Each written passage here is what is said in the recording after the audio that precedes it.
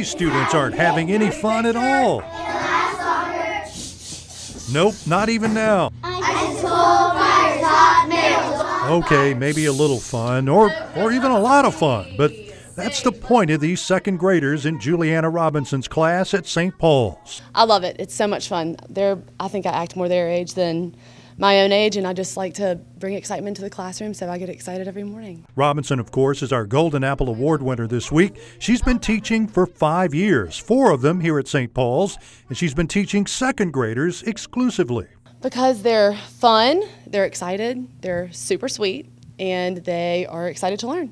Because of all the fun they're having, it may come as no surprise she was nominated for the Golden Apple by one of her students with the help of her father, Brent.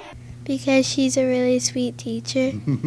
Is she? Thank you. What is it, what is what's so sweet about it? She's always fun. By golly, there's that word again.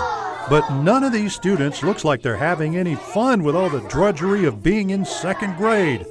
Of course not. Our congratulations to Julianna Robinson and St. Paul's Lower School for a job well done. Bill Riales, WKRG News 5.